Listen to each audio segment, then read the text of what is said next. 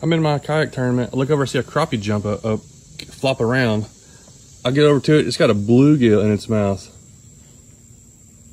I've always wanted to see a fish doing like that. Let's try to take it out.